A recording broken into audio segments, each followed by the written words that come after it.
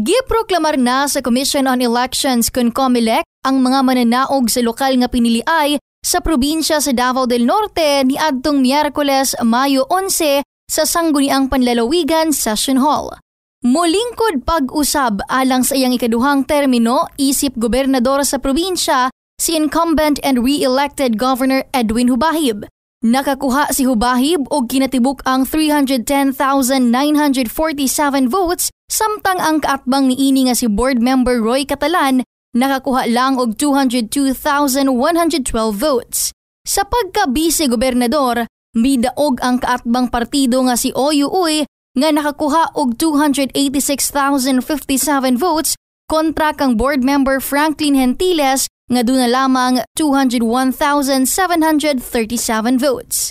Napili sab nga mga board members sa Davao del Norte District 1 sila si Nickel Sway Bagyo nga nakakuha og 129,039 votes, Popo Estabilio nga nakakuha og 117,917 votes, Tete So nga nakakuha og 111,521 votes, Shirley Belen Aala nga nakakuha og 101,346 votes ug Frank Remitar nga nakakuha og 99,688 votes.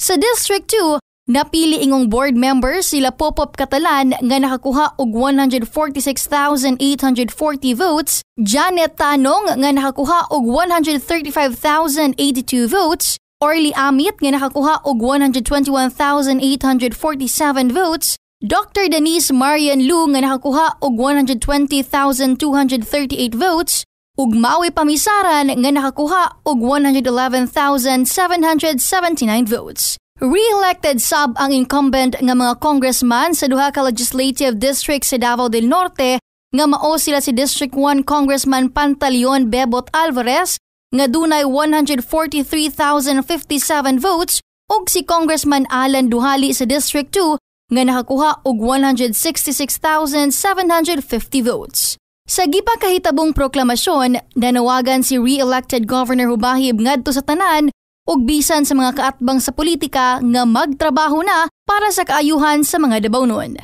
So tapos na 'yon. Uh, ang sa atin ngayon, kailangan lang natin uh, matugunan ang pangangailangan ng uh, uh, kapatid natin dito sa probinsya ng Davao del Norte para maipakita natin na pag ang, ang uh, leader ng uh, gobyerno ay talagang magtrabaho para sa tao, ay uh, malayo ang mararating natin. Gipasalig sab sa gobernador nga sa iyang ikaduhang termino, ipadayon ang iyang flagship food sufficiency program nga kausa sa agrikultura ug panginabuhian sa barangay kon kaagapay. Ingon man ang nagpadayong mga programa sa flood control project, anti-insurgency program free hospitalization ug pagsuporta alang sa mga mag-uuma ug mga negosyante sa Davao del Norte. Kauban si Michael Balila sa kamera, kini si Gwen Kelly Lubitos, One Davao News.